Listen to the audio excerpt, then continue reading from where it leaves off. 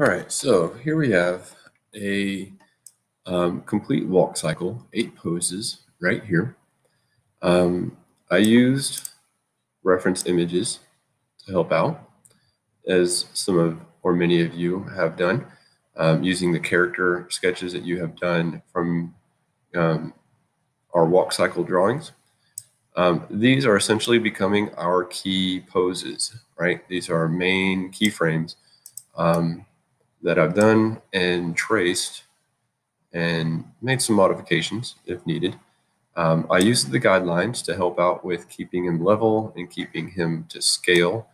Um, and that's going to be important because later, uh, or what the next step is going to be, is to add tweens. And tweens are going to be the video, or not the video, the the animations that you add in between your key poses. So here's key pose one, key pose two, key pose three, four, five, and so on. So as I keep going, um, you'll see these key poses. Um, I'm not sure why these have turned into symbols, but I'm going to undo that real quick. Um, maybe you won't have that issue to deal with. So let me break that apart and we're good. All right, so key pose one, two through eight. So I have these key poses. They're all set five frames apart from each other, um, which is which is good. Um, it's a good round number to, to keep my key poses um, for a walk cycle because there's so much movement and so many things happening. Um, it's better to have more key poses than not. Um, now what I want to do is add the tweens, right? Tween is basically just short for in-betweens. Um, there's a position in the animation field called the in-betweener or the tweener. And basically what that is, you have an artist that takes care of these poses that you've already done and you've separated by five frames. Um, then what they would do is hand the project over to the in-betweener and they would go back and um, add the in-between animations. And so I'm just keeping it simple and I'm only adding one in between pose between each of these key poses right here. So one and two, I'm going to do a pose right here. So I'm adding one in here that's not already here. And so to do that, I'm going to get this frame ready. Um, I'm on frame three. So here's frame one. Frame two is going to be blank. Frame three is going to have um, my new animation on it. Frame four is going to be blank and frame five is where my new pose, where that second key pose is. So I'm going to go to frame three and I'm going to press F7 on my keyboard. And what that does is it doesn't delete what you have, but it clears out this gap right here for new animation.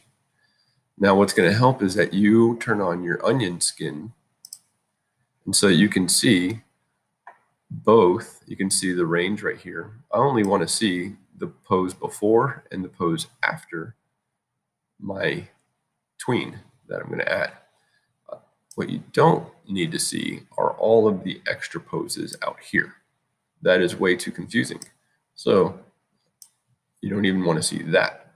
I just want to see that range right there. And so you can adjust the range of what you see. If you don't see both poses, then you might have to adjust this little slider here so that you can see both the pose before and key pose after. So now I'm ready. I've got this layer selected and this frame selected, frame three. What I'm going to do is zoom in a little bit, hold space bar and shift my stage upwards. I'm going to grab my brush and I'm going to look at filling in the space, the transition between this pose, notice where his legs and his arms are, and this pose.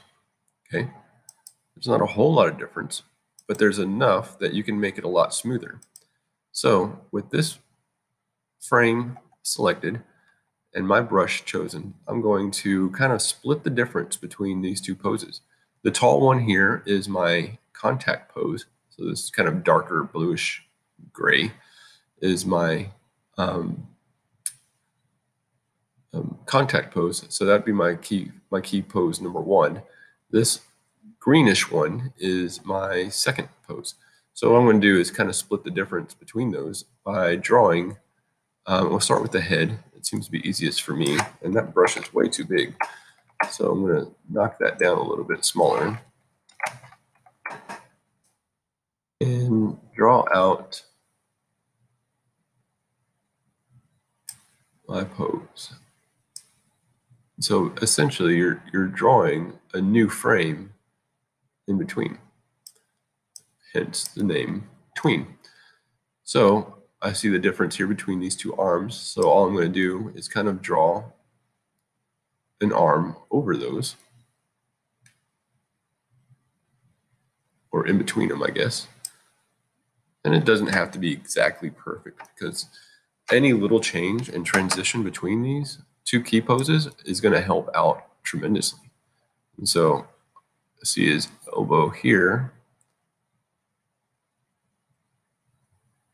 So see how I'm kind of just working in between these two poses.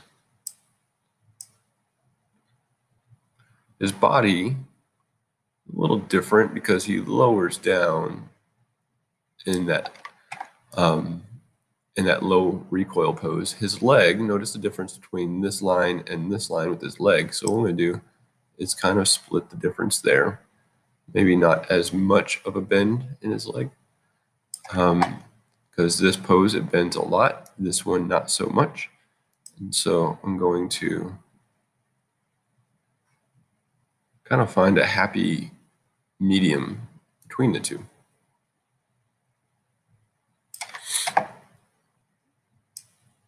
body here goes up. And his leg placement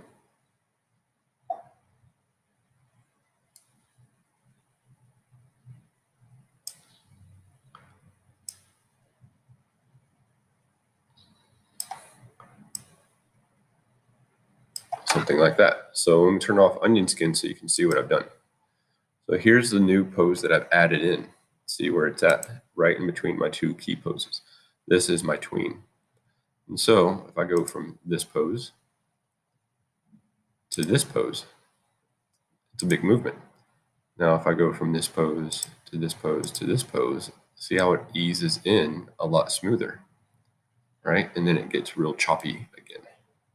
So that is what tweening is. And that's what you're going to be doing for um, these spaces in between your key poses. So now I have a new key pose I need to add in.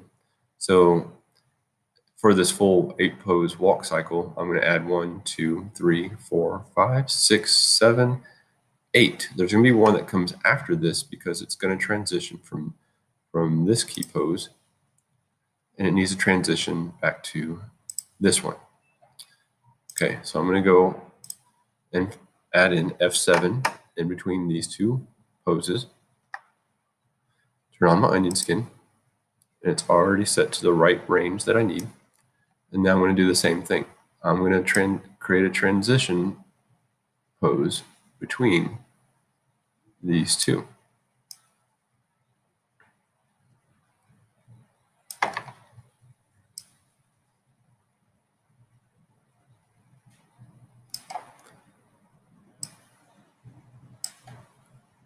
There's a big difference between his arm motions from here to here. Um, so what I'm going to do is keep that in mind and try to position it the best way that you see fit. Um, his body comes down here. His body in this arm to this arm, there's probably a little bit of change from here.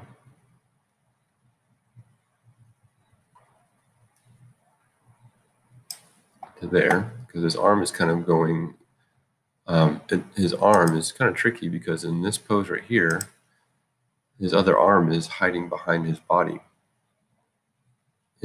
this pose, you see them both clearly. In my pose, it's going to be somewhere in between. Turn onion skin back on. And this can be a little tedious. This is part of it. Okay, so I see his leg here and his leg here. So there's going to be a good transition between um, these two legs that are planted on the ground.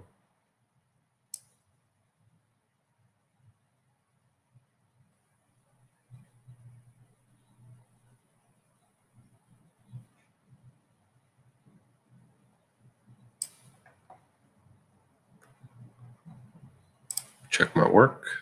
That leg looks kind of funny, but okay. So this leg goes from being in the back to being in the front. So my leg needs to be somewhere in between.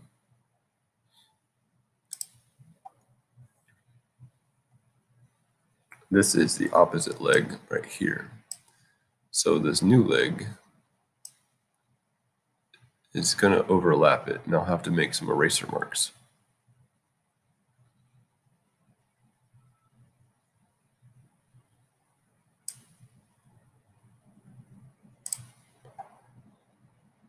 So I can see where I need to make my eraser here. I can see where this line can come forward. So choose my eraser and erase this as needed.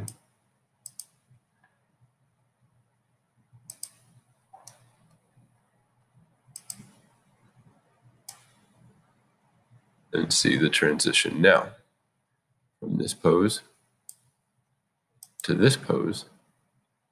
Now it goes from this pose to here to here. Smoother transition adds makes for smoother animation. Okay, see how that works. So I'm going to continue down the line and I'm going to do these next steps.